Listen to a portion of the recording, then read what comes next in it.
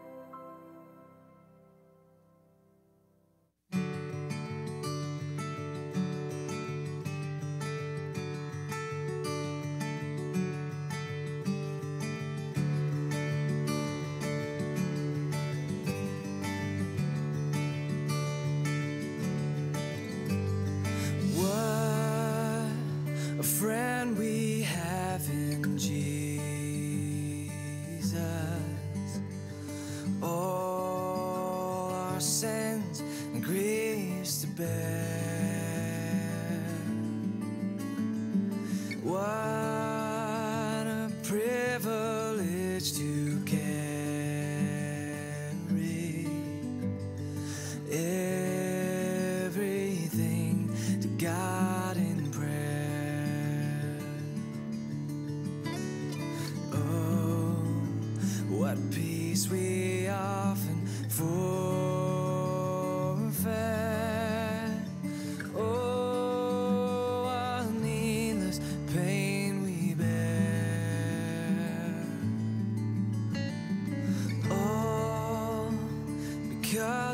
do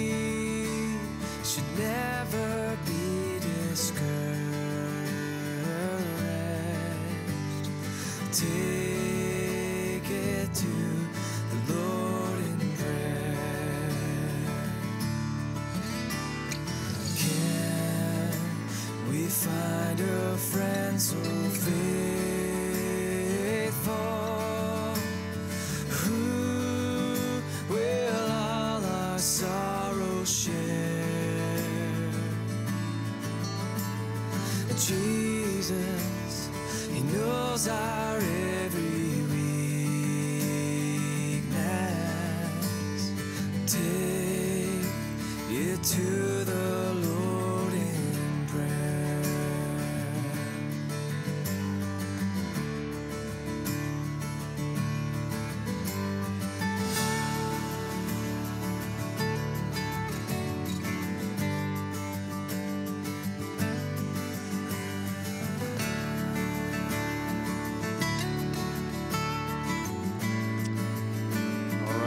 morning, everyone. Welcome to worship this morning on this Mother's Day. We're so glad to have all of you here today. Special welcome to those of you who are guests with us today.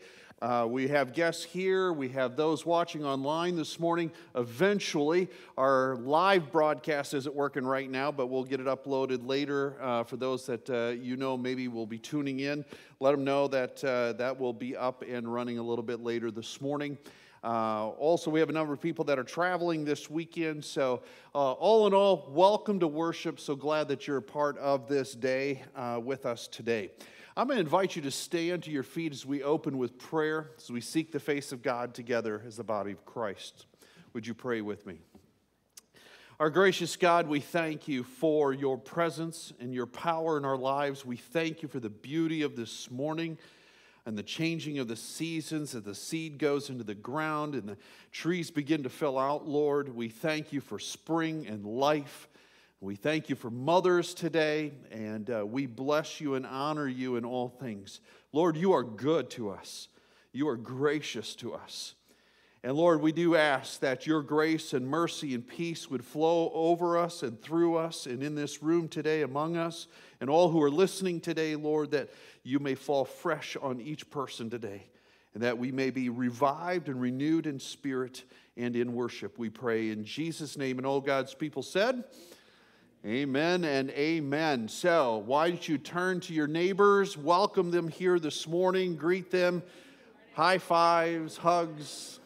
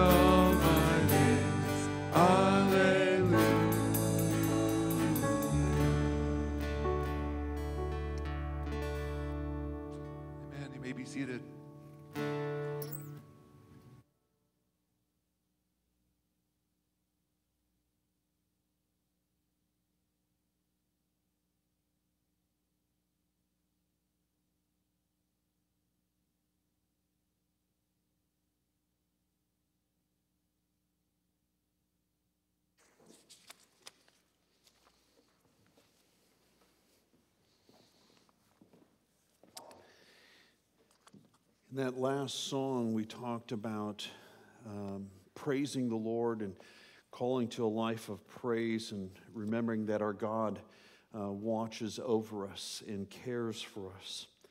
You know, one of the marvelous things about uh, worship and about our heart, soul, mind, and strength as God invites us into relationship with Him. It's pretty amazing if you really stop to think about the fact that the creator of the universe desires to live in relationship with us. And he lays out in his word what that relationship looks like, not only with him, but how that then flows into our relationships with one another. And his word reminds us that if, if we're to live in relationship, we remember that we are a people that have been brought out of slavery and bondage to sin, and we have been set free. So we're called to worship him alone, no other gods before him. We shall not take things of this world to elevate them to the status of God, but rather to honor him as the only God, to devote our hearts solely to Him, that all our affections, all our emotions, all our motives, all our actions, everything be fully devoted to Him, and that His name be exalted everywhere, every place, all the time.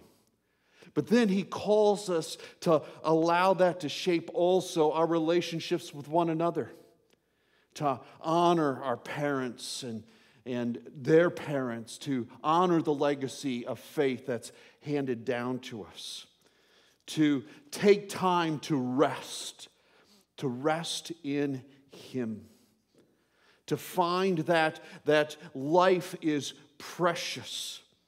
So we honor life, we don't take life. We honor marriage, we don't, we don't distort it. We honor what belongs to our neighbors out of reverence for God. And we speak the truth to one another. We speak the truth about one another. And we rest in the fact that God provides all that we need. There's no need to, to chase after everybody else's stuff. God provides exactly what we need. And when Jesus walked this earth, he, he helped really kind of summarize that for us when he said, Look, love God with heart, soul, mind, and strength, and love your neighbor as yourself. And he said, This, this is really what it all boils down to. And so, as we think about that today, as we consider God's call to live holy unto Him and to be devoted to one another, towards that end, would you join me in prayer this morning? Let us pray. Gracious God, we thank you for the call through worship and the call through your word to be fully devoted to you. That as we join together in voice and in person together this morning, as we take stock of our heart, soul, mind, and strength, we renew our commitment and our desire and our affections be fully to you. That every motive, every thought, every action reflect Christ. And we confess, Lord, that sometimes it's easier said than done. In fact, Lord, there is in all of us a desire to do the opposite. And we confess, Lord, we have sinned against you and against one another. And we confess that. We're honest, Lord, before you this morning in your presence because we know that we can come into your presence and find that there is the forgiveness of sins through Jesus Christ. In fact, your word says that if, if we confess our sins, you are faithful and just and will forgive our sins and wash us clean. That is our prayer this morning, Father, as we gather in your presence, that we be washed clean, whole, and new. And that our lives live out that joy and that freedom and that forgiveness. And Lord, for those today for whom the burden is heavy, maybe there is physical concerns or health issues, Lord, that are pressing at this time. Maybe, Lord, it is, it's the burden of heart that one carries, sorrows or griefs. Lord, I pray today that the joy of the Lord be their strength. That there be resolve in their spirit through the power of your resolve in their spirit through the power of your spirit in us to press on. Specifically today, Lord, we honor parents and specifically named our mothers, Lord, today. We thank you for each one. Those with us, those who've gone before us, those yet to be, Lord, we thank you and praise you. We are grateful, Lord. And Lord, we pray that as we dedicate ourselves anew to following your word, that at the proclamation of your word today, we too may find our hearts renewed and encouraged to walk closely with you and with one another. All these things we pray in your precious name. Amen.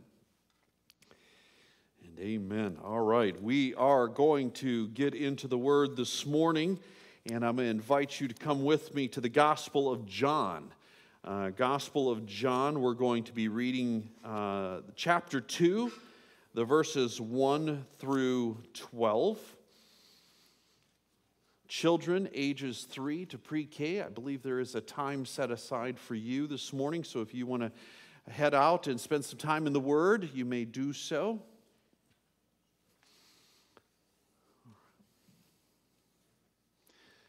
And, and just as a side note, I don't, I don't know if you noticed this morning during opening worship, but the guy standing back there had kind of a glow to his face. He may have gotten engaged this past week. Yeah, congratulations. I mean, he's so excited he brought his fiance and their entire family here this morning. So we are excited for all of you this morning. So God bless you. Great to have you with us this morning. All right, we are ready to get into the word. And this morning, I'm going to invite Piper and Alicia forward for the reading of Scripture. Invite you to stand for the reading of God's word.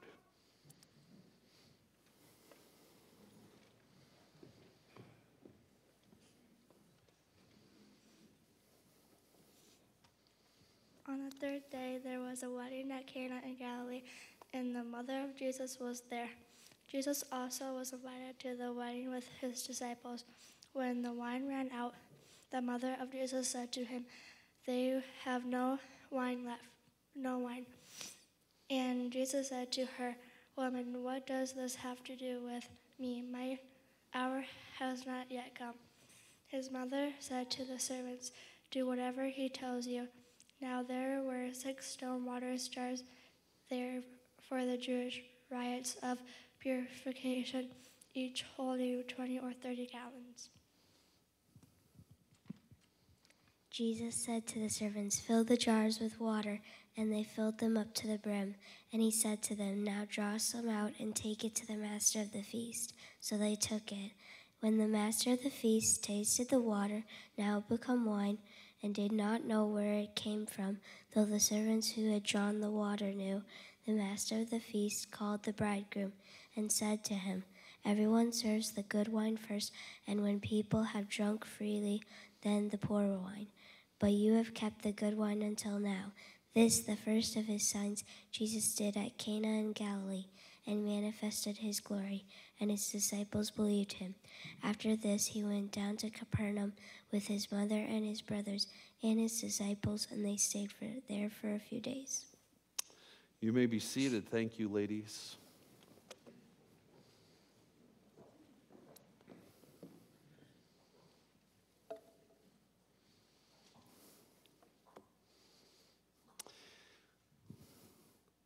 I don't know how many of you heard this phrase or maybe uttered this phrase yourself in your household at some point or time Things may have been, you know, pushed to the limit, and somebody finally says, Well, it's because mom said so.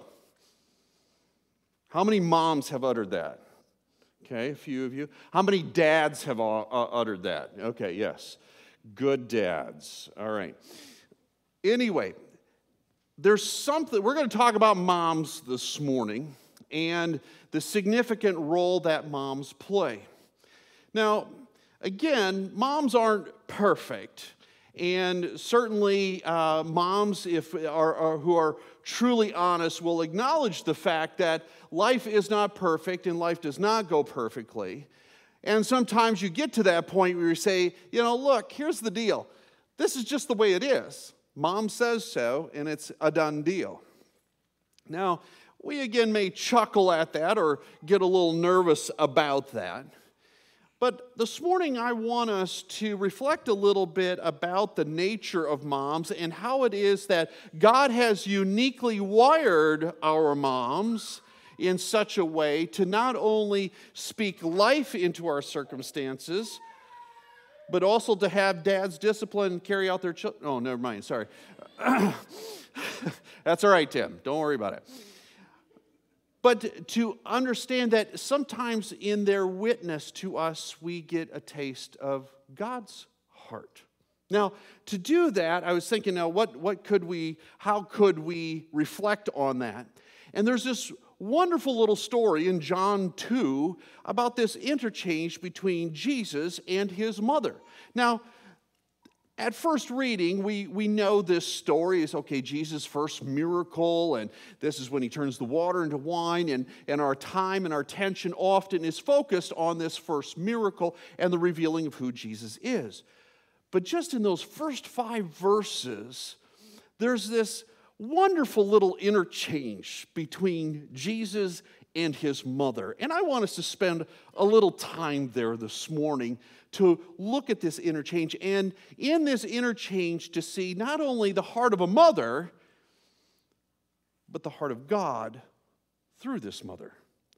So, the first thing I want us to see this morning is this, and that is a mom's vested presence surrounds us with love. Now, the story begins Jesus and his mother and his disciples, uh, he had only called five or six at this point yet, all were invited to this wedding. And they figure that this was a relative of theirs. So, this, this entourage, Jesus, mom, and these disciples, show up at this wedding. And we note here that John notes the fact that his mother, Jesus' mother, Mary, was there with them. Now, I want you to go to verse 3. When the wine ran out, the mother of Jesus said to Jesus, They have no wine. Now, at this point, they had probably enjoyed some of the feast, and, and, and we got indication in the passage that, that this was later in the feast, so they had spent some time there. But it's interesting that when this moment eh, occurs, okay, they've run out of wine, there's, there's, there's almost a crisis situation because it was very common that in those celebrations you served wine. You, you, you, were, you were part of hosting this festive celebration. And when you run out of wine, you got a problem. Now, some of you might testify to that as well, but the, the fact is, is that when you run out of this, there's a problem here.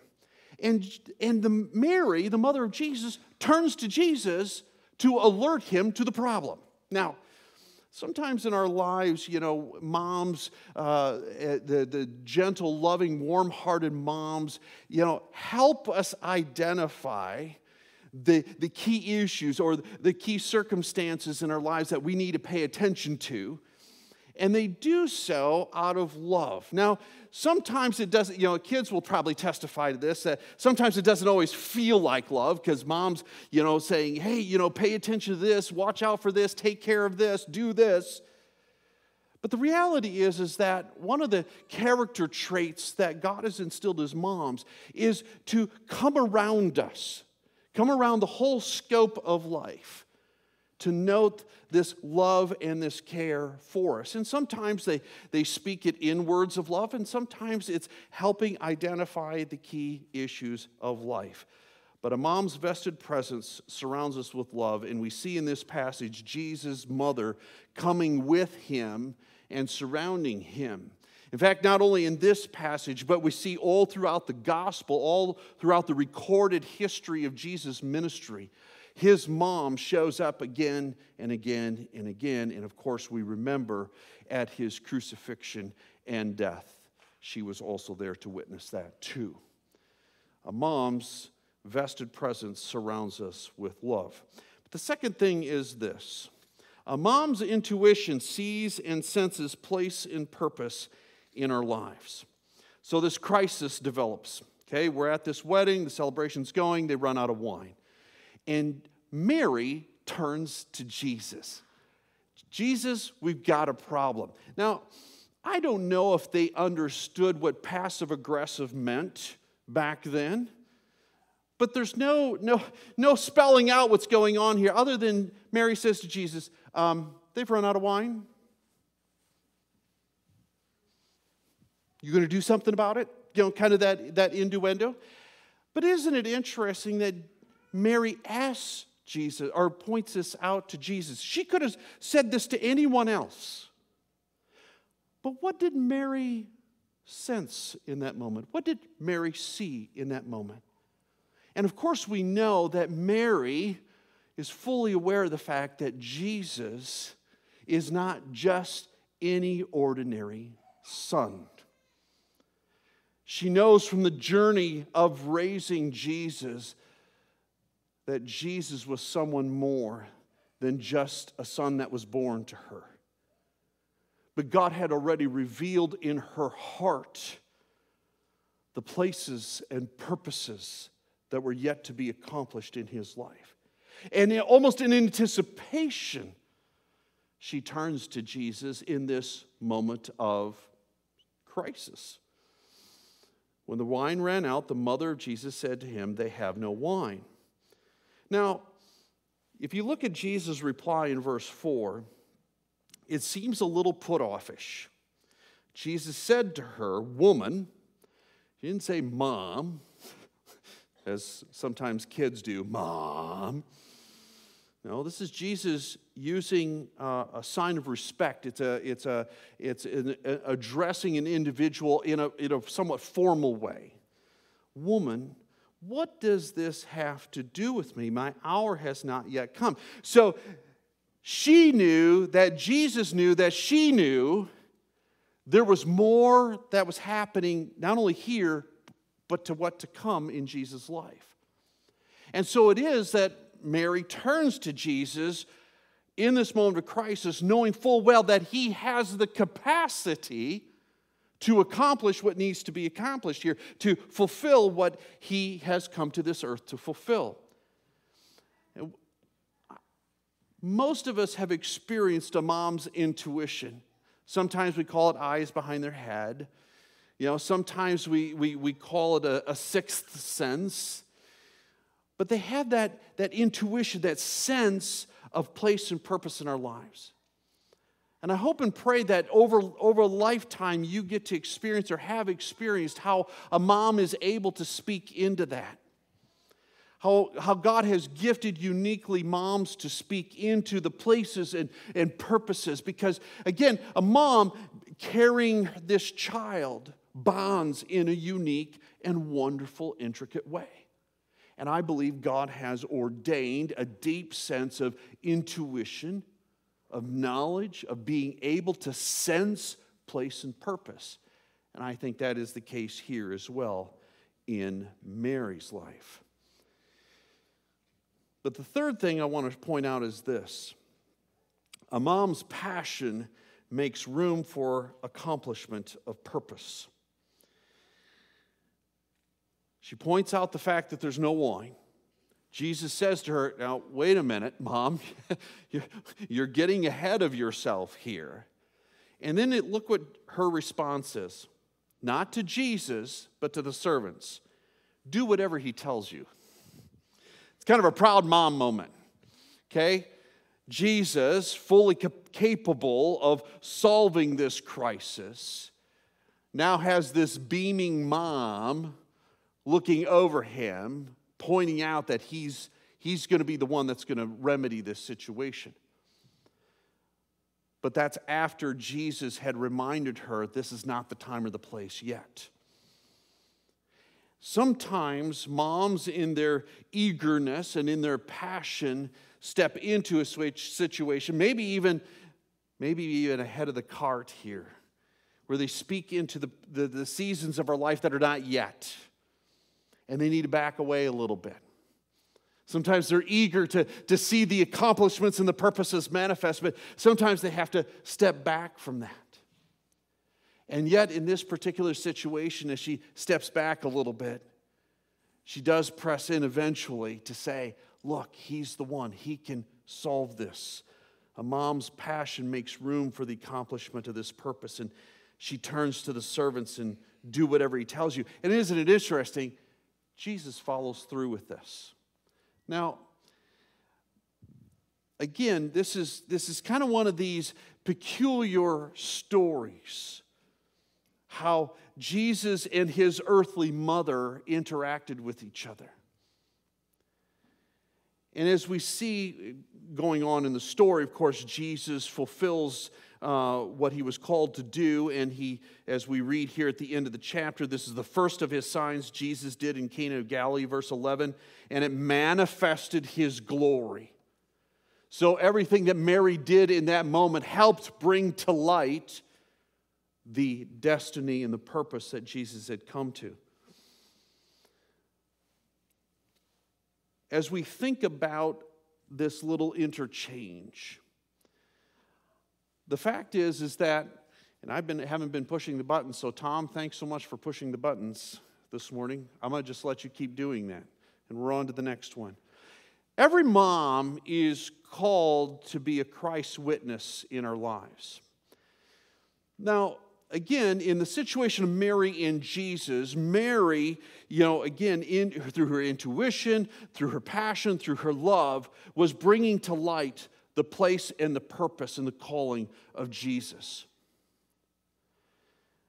But in our lives as well, God has ordained moms in a role to be a Christ witness in our lives. In other words, to be able to see Christ through their example. In fact, all parents are called to that in the lives of their children, to be a Christ witness in our lives. But the journey for some has not always been really positive. Some of you have journeyed with a mom or the absence of a mom and have been reminded that sin brings brokenness. Some of you have experienced a mom that might be distant, a mom that may be checked out, a mom that is not vested. Or maybe you've experienced the pain and the brokenness of, the, of a mom that, that has passed away, or a mom that, that um, is, is no longer communicating with you. And you're reminded that in this world we have that brokenness. And sometimes our, our moms, uh, imperfect as they are, um, remind us that there is sin in the world but that there is a grace also, because grace reminds us that there is redemption. See, sometimes I think, you know, we, we sometimes shape our experience and our understanding of who God is through the earthly representations we have in moms and in dads. Sometimes our view of who God is is impacted either to the positive or to the negative, depending on the the role and the function of that parent in our lives. But grace reminds us that even though it is a brokenness, even there, though it is an imperfection, even though there is sin in this world, there is a grace that redeems. Sometimes, in the experiences we have in this life and the imperfections of our parents, we carry with us scars and wounds. And sometimes we, we, we put distance between our parents and us because we feel the ache and the burden of that sin. But grace reminds us that at every point along the way, there is a place for redemption, there is a place for making it right. And I know sometimes as parents, we go through life and, and, and we realize, we look in the mirror, we realize we're not perfect. Was sometimes we, we joke in our house that, that uh, we're, we're keeping a notebook for each child that we're going to give to them that when they go, they turn 30 and go to their counselor, they have a list of everything that we screwed up at. And I don't know if anybody else is keeping those kind of notebooks, but uh, anyway, yeah, a few of you are, yes, okay. We're not perfect, but the wonderful thing about grace is we can step into even these most broken moments and they can be redeemed. Relationships can be restored. There is sufficient grace, there is sufficient forgiveness that can restore those things, whether it's a child to a parent, a parent to a child, that there is opportunity through grace to redeem every single moment. Yes, even some of the most darkest of moments can be redeemed because of grace. But I think the biggest thing is that salvation reminds us where our ultimate hope is vested. In other words, our parents are not perfect, moms are not perfect, dads are not perfect, but they're not our saviors. Christ is our Savior. And that should, should bring a measure of comfort both to parents and to children. We're going to have disappointments and brokenness in this life. Things are not always going to be perfect in this life. And yes, there is grace to redeem that. But ultimately, our salvation, ultimately, our redemption is in Christ alone. Therefore, the wonderful thing is we don't have to superimpose perfection onto our parents. And parents don't need to superimpose perfection onto their children. That belongs alone to Christ. We have the opportunity every day, whether as parents or as children, to ultimately turn to Christ and find that there is grace, there is redemption, even when things get messy in the house. Even as things get messy as life goes on and, and there's maybe distance or brokenness in relationships, those can be redeemed. Because the Savior is not me, it's not my wife, it's not my children, but it's Jesus Christ. And we can find in Him the hope, the hope in this life. Because sometimes in the family relationship, it can feel like all hope is lost when, when things break down, it can feel like, where else do we go? Home is supposed to be this sacred place. Home is supposed to be this place of safety. And if it's not, if it's not perfect, if it's not functioning the way it's supposed to, what are we to do? And the wonderful news is, is that through Christ, redemption is possible, grace is possible, forgiveness is possible. Things can be restored. In fact, I want to leave this picture with you. We had pointed out those traits of moms, but in some respects, those traits are reflective of the heart of God. For you see, God has vested His presence in us and has surrounded us with His love. We can walk into the brokenness of this world. We can, we can walk into the diff, most difficult of situations and find the fact that God has surrounded us with His love. This is how we press on. This is how we fight our battles. This is how we move through this life is we are surrounded by the love of God. And even though we may not experience on this side of eternity that perfect love between moms and dads and kids and, and relatives and all of that, and in the body of Christ, we know this that through Jesus Christ, He surrounds us with His love. And not only does His vested presence surrounds us with His love, His providence sees and ordains place and purpose in our lives. Because sometimes, too, as we're walking through life, as our parents are leading us and training us, guiding us, they may get it right. Okay, my, I, my oldest kids are kind of getting to that point where they circle back and say, you know what, you were right. How, anybody had that moment as parents? Isn't that a great moment? Hallelujah. Some of you are praying for that right now, aren't you? All right? But the fact is, is that we may get it right, we may not get it right. But God is still sovereign. And his providential hand, even in the midst of our brokenness and not getting it right, will make things right. Because his purposes are always being accomplished in and through us. And finally, God's passion makes room for accomplishment of purpose. God desires for you to thrive.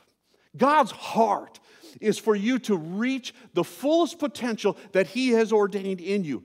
Now, every parent in this room that I know and every parent that I've met before wants the best for their kids. There's not one parent that I know of in the world that wakes up and says, Oh, I hope my kid is a failure.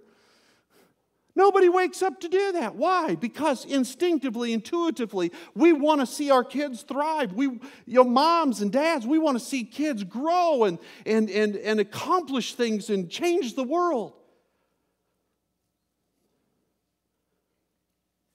Take that and exponentially multiply that, and that is the heart of God.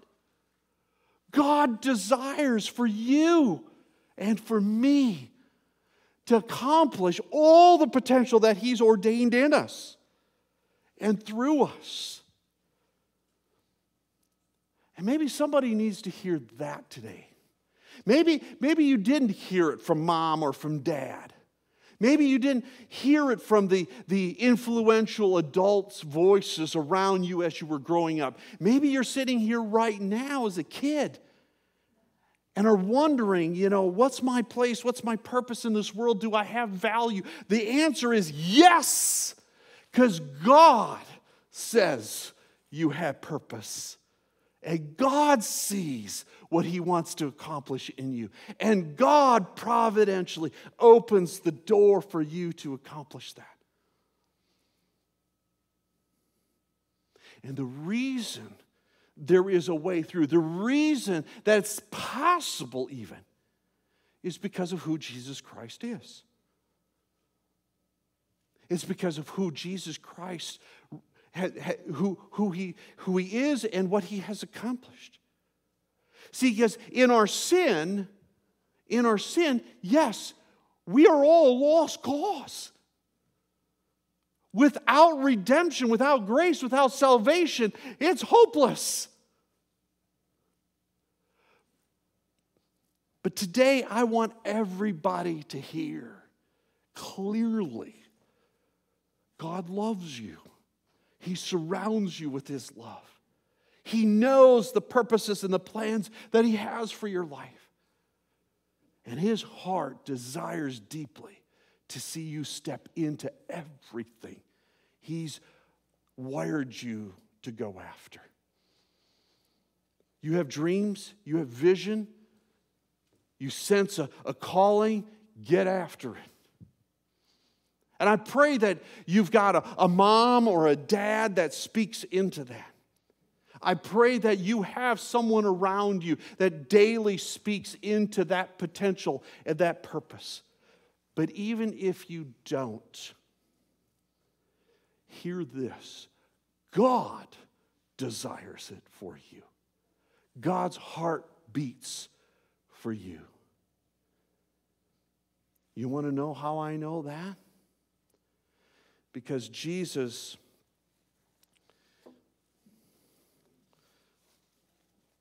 on the night in which he was betrayed took bread. And he had gathered around him those disciples that were close to his heart.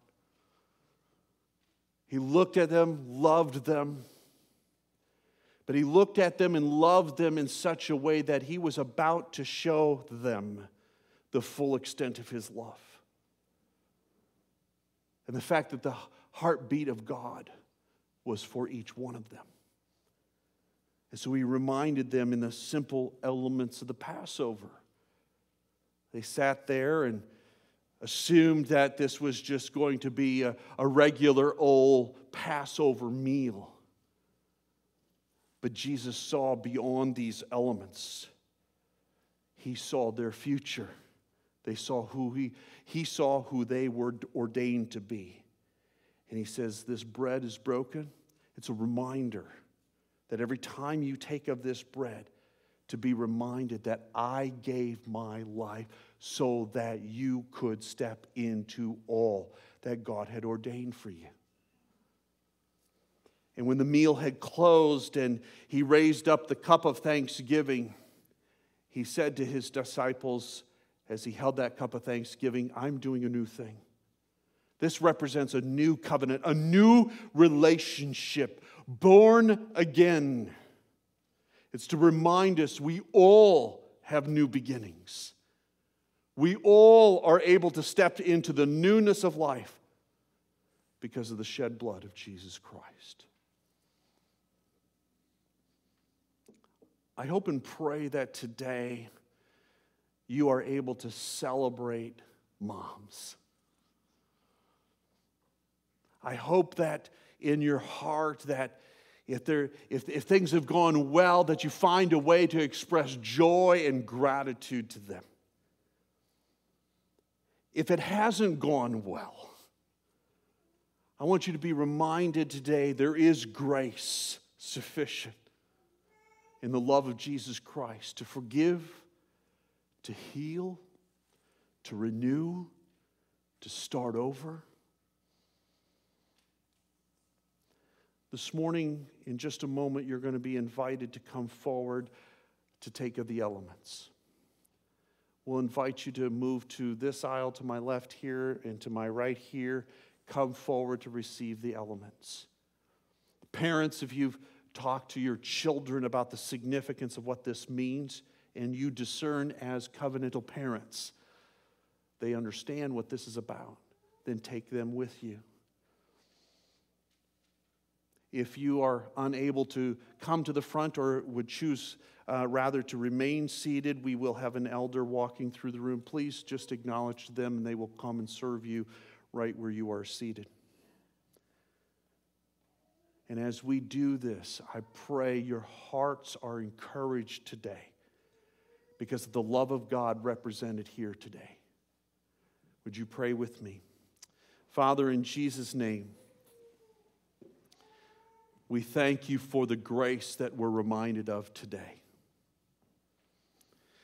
Thank you for the tenderness and, and love we saw demonstrated in the scriptures today of Mary towards Jesus. How years prior to that you had pricked her heart and enlivened her heart to step into a place and a purpose you had ordained for her. And how you moved her through her fears and through her concerns into a place of surrounding him with the love you had put in her heart for him. How you spurred in her that vision to see beyond the moment what you had ordained for your son. And how it is that you ordained through her to accompany him unto death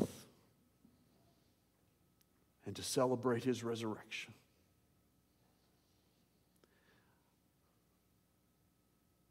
In that same spirit of tenderness and love, we, st- we receive these elements this morning of your love to us, surrounding us, holding us, redeeming the times, building relationship, offering forgiveness tasting of new beginnings.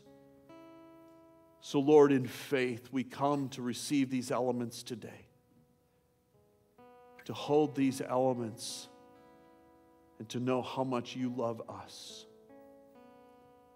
So, Lord, we pray through your Holy Spirit, affirm in our hearts today how much we are loved by you. We pray in Jesus' name. Amen. As you come forward this morning to receive the elements, you're invited to take the bread and the juice, return to your seats, and then as the worship is going on and the Spirit leads you, to take of the elements.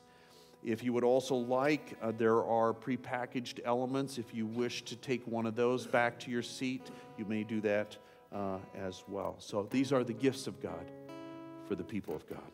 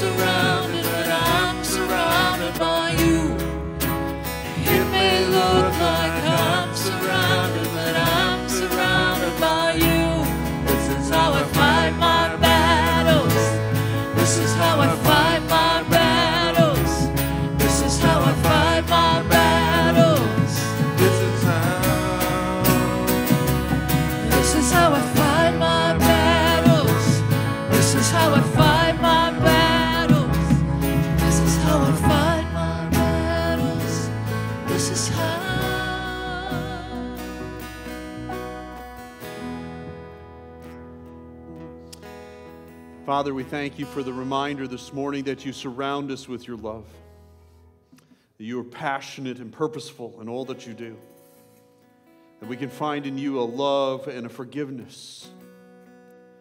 So we declare with the psalmist, Bless the Lord, O my soul, all that is within me. Bless your holy name.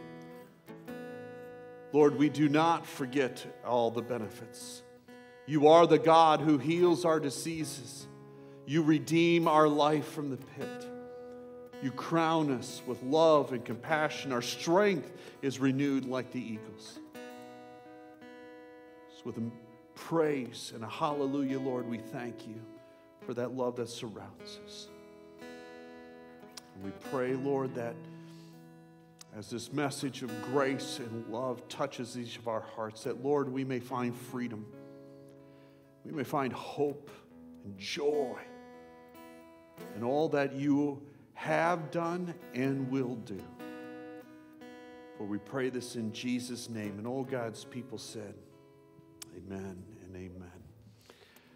This morning, as we close our service on this Mother's Day, um, for some of us today, this is a, a day of uh, acknowledging and honoring moms.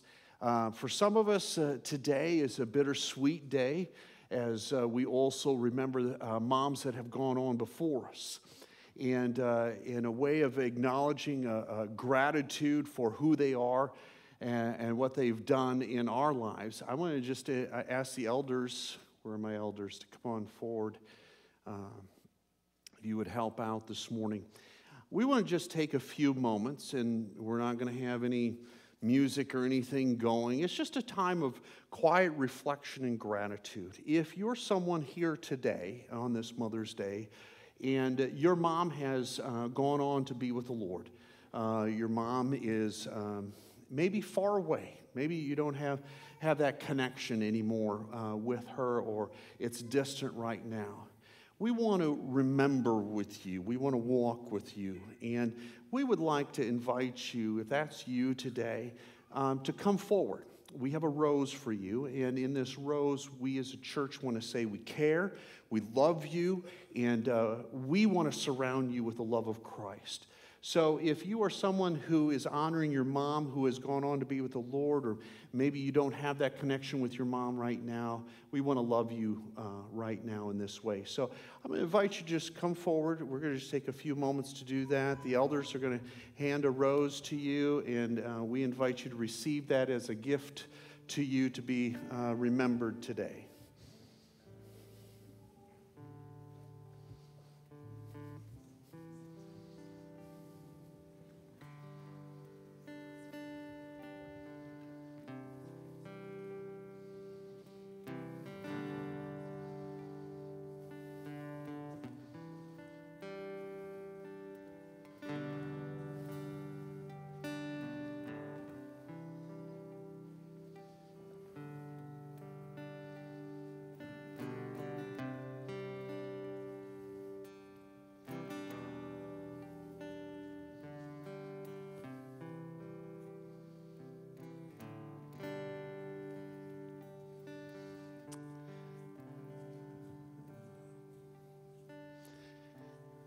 As we continue to honor and, and bless moms today, we want to also celebrate uh, all of you that uh, uh are moms and uh, are celebrating that in a special way today. So um, we want to invite moms uh, to come down and we want to bless you in that today. So I invite moms to come on down. If you haven't already, we would like to bless you with a rose as well today.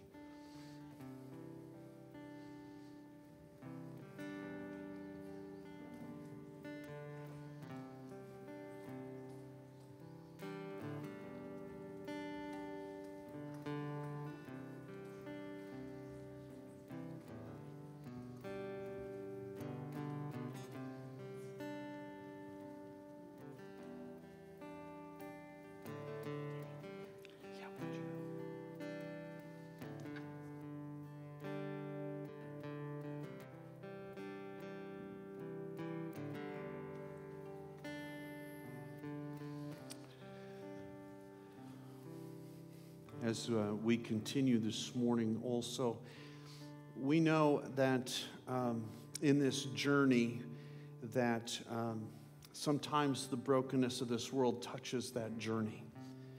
And there may be those of you today for whom you have maybe longed for um, that opportunity to be a mom and have experienced miscarriage or stillbirth and the journey has been difficult for you.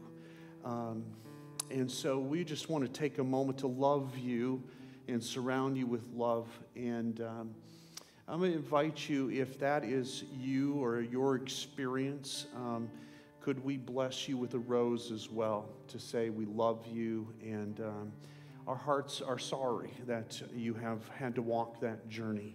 Uh, so, again, if, if someone uh, longs to be a mom and maybe there's infertility issues, uh, miscarriage, or stillbirth, um, we love you.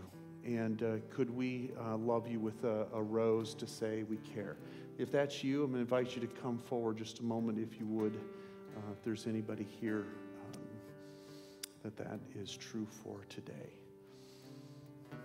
I know it might be a little much to come forward physically, but we want you to know we do love you.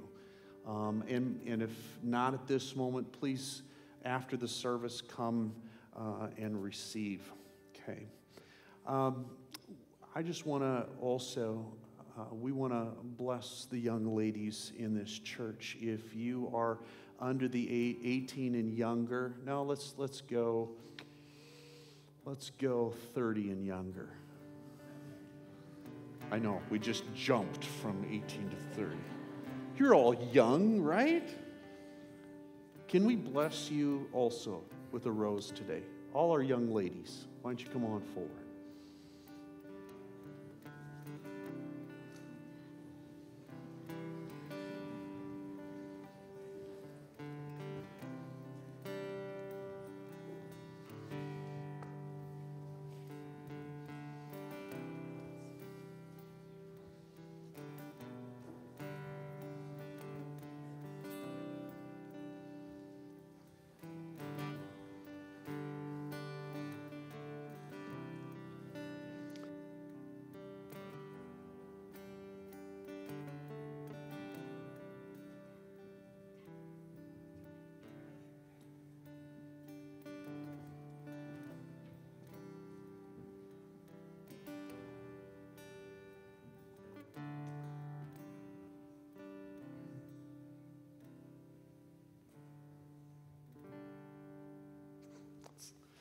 Be seated. Thanks, elders, um, for this. We're going to conclude our service. To invite you to stand, if you would, please.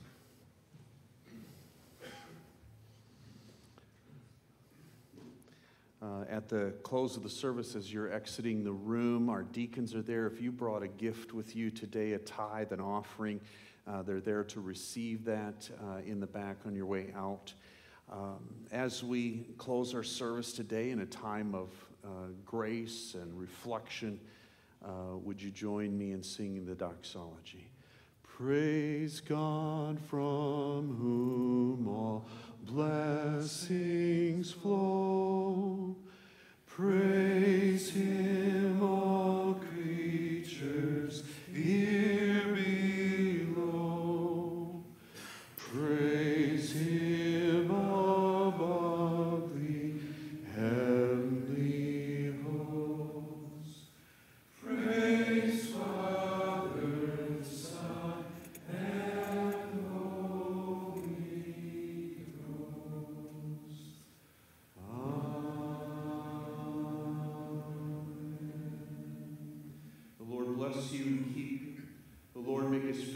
Shine upon you and be oh so good and gracious to you.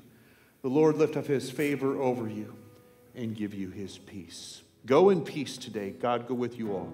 Amen.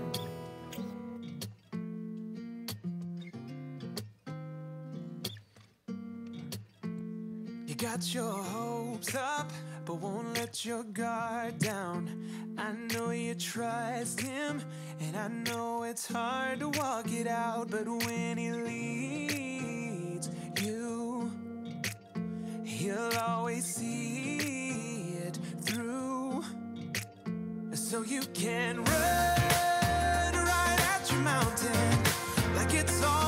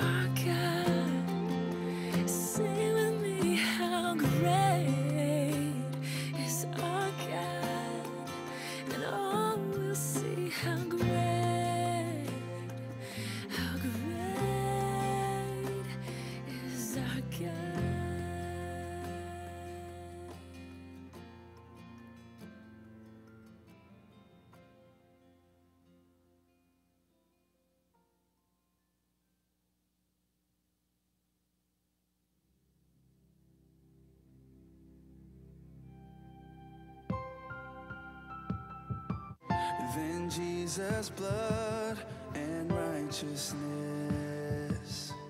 I dare not trust the sweetest frame, but wholly trust in Jesus' name.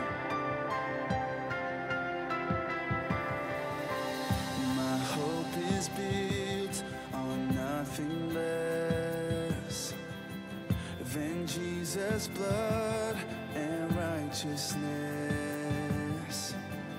I dare not trust the sweetest frame, but wholly trust in Jesus' name. Christ.